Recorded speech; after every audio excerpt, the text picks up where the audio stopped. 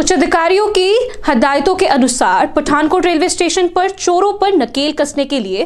चोरी करने वाले गिरोह को काबू कर लिया गया है। जानकारी देते हुए पुलिस अधिकारी ने बताया कि गुप्त सूचना मिलने पर चेकिंग के दौरान उनके द्वारा पाँच व्यक्तियों के गिरोह को काबू किया गया है, जिनसे चोरी का मोबाइल फ़ोन, कुछ हथियार व बैग्स के ताले खोलने वाली चाबी बरामद की गई, जिसके चलते आज उन्हें अदालत में पेश करके पुलिस ने तीन दिन का रिमांड हासिल किया है।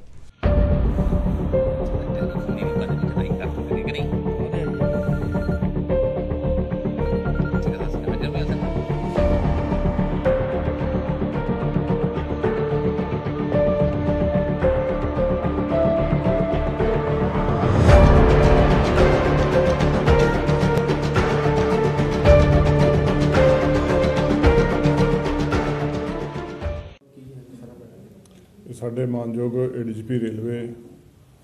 madam Shrimati Shashi Prabha Dwivedi IPS ਸਾਡੇ ਏਆਈਜੀ ਸਰਦਾਰ ਹਰਮੀਤ ਸਿੰਘ ਹੁੰਦਲ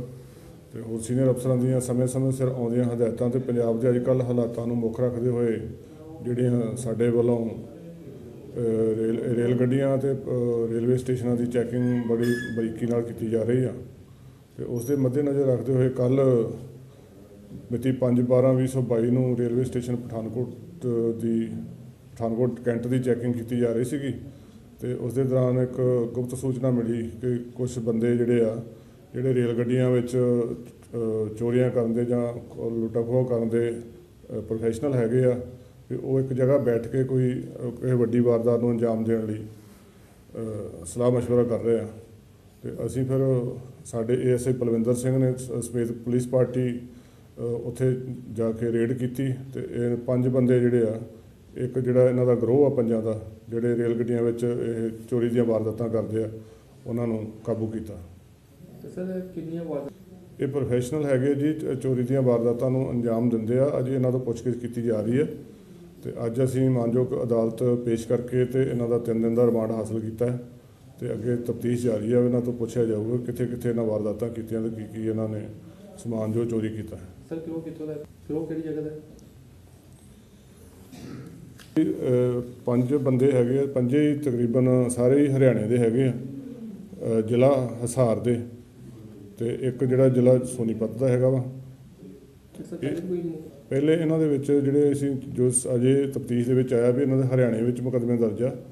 ਤੇ ਪੰਜਾਬ ਵਿੱਚ ਅਜੇ ਤੱਕ ਕਿਸੇ ਦੇ ਕਾਬੂ ਨਹੀਂ ਆਏ ਹੁਣ ਸਾਡੇ ਕਾਬੂ ਆਏ ਆ। ਤੇ ਅਸੀਂ ਇਹਨਾਂ ਤੋਂ ਤਫਤੀਸ਼ ਕਰ ਰਹੇ ਹਾਂ ਅਜੇ ਨਾਲ ਇਹਨਾਂ ਦੀ ਤਸਦੀਕ ਪਿਛਲੇ ਹਾਲਾਤ ਵੀ ਤਸਦੀਕ ਕਰਾਵਾਂਗੇ ਵੀ ਕਿੱਥੇ ਕਿੱਥੇ ਇਹਨਾਂ ਨੇ ਪਹਿਲਾਂ ਮੁਕੱਦਮੇ ਦਰਜ ਕੀਤੇ ਹੋਏ ਸਰ ਰਿਕਵਰੀ ਇਹਨਾਂ ਕੋਲੋਂ ਚੋਰੀ ਦੇ ਤਿੰਨ ਮੋਬਾਈਲ ਫੋਨ ਆ ਜੀ। ਉਸ ਤੋਂ ਬਾਅਦ ਇੱਕ ਚਾਕੂ ਇਹਨਾਂ ਕੋਲੋਂ ਕਮਾਨੀਦਾਰ ਮਿਲਿਆ ਹੋਇਆ ਇੱਕ ਛੁਰਾ ਕਮਾਨੀਦਾਰ ਮਿਲਿਆ ਹੋਇਆ ਤੇ ਮੁਸਾਫਰਾਂ ਦੇ ਜਿੱਦਾਂ ਜਿੱਪਾਂ ਖੋਲਣ ਵਾਸਤੇ ਇਹਨਾਂ ਨੇ ਆਪ ਮਤਲਬ ਫੈਬਰੀਕੇਟਡ ਇਹਨਾਂ ਹੁੱਕਾਂ ਬਣਾਈਆਂ ਹੋਈਆਂ ਤੇ ਨਾਲ ਇਹਨਾਂ ਕੋਲੋਂ ਬੈਗ ਬੂਗ ਦੀ ਚੋਰੀ ਕਰਨ ਵਾਸਤੇ ਇਹਨਾਂ ਨੇ ਸਰਜੀਕਲ ਬਲੇਡ ਰੱਖੇ ਹੋਏ ਆ ਇਹ ਸਭ ਕੁਝ ਬਰਾਮਦ ਹੋਇਆ ਸਰ ਕਿਹਦਾ ਇਹਨਾਂ ਦੇ ਖਿਲਾਫ ਅਸੀਂ ਮੁਕੱਦਮਾ ਨੰਬਰ 86 ਮਿਤੀ 15 ਅਹ, 15/2022 ਅਧੀਨ ਧਾਰਾ 401 411 2554 ਆਰਮਜ਼ ਐਕਟ ਦੇ ਤਹਿਤ ਮੁਕੱਦਮਾ ਦਰਜ ਕੀਤਾ रखें Ragi home decor care of Ragi distributors and promoters ward number 11 near novelty mall Mamun road Pathankot contact us on 95400 6113